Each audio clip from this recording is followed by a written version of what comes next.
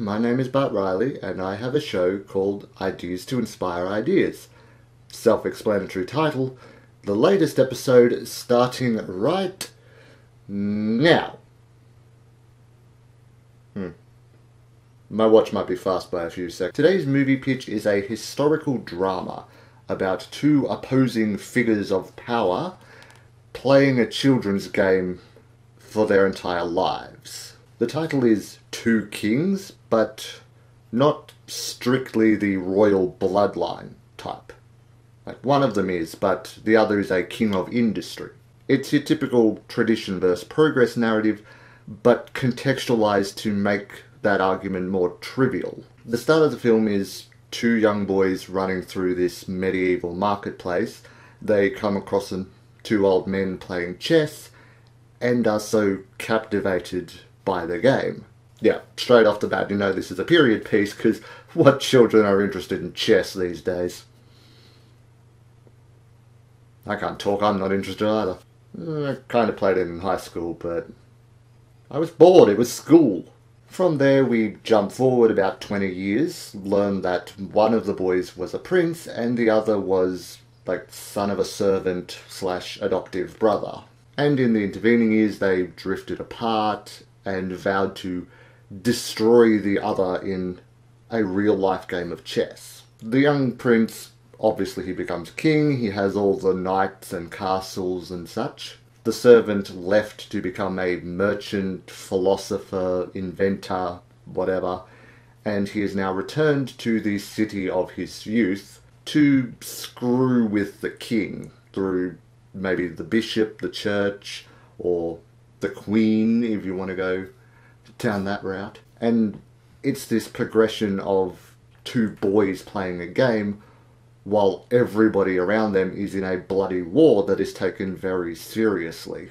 Characters like the pompous knight who is so confident of his skills that he easily falls into a trap when taking over a settlement that is actually pretty heavily guarded. Or the bishop, who is very religious, so you know where he stands on most issues. All these manipulative ways that the merchant can ruin the economy around the king, who uses all his power to crack down on the merchant. While the greater metaphor is, of course, down on the merchant's side about progress and evolving society, I want the personal conflict to end in a stalemate neither character wins.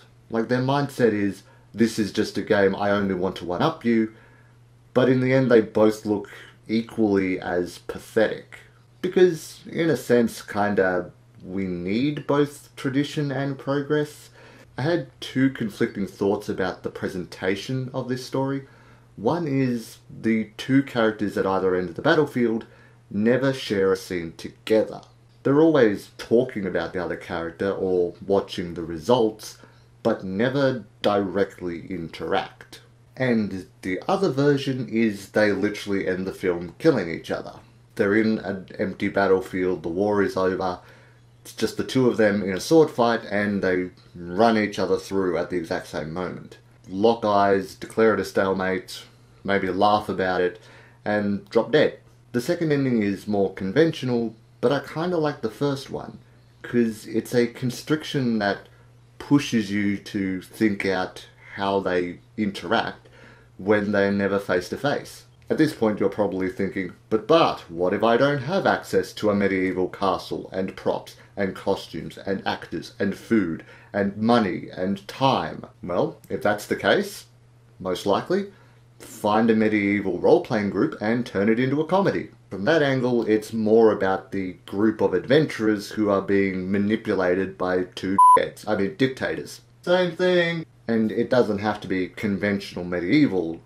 I knew a guy who did a music video with a Viking group.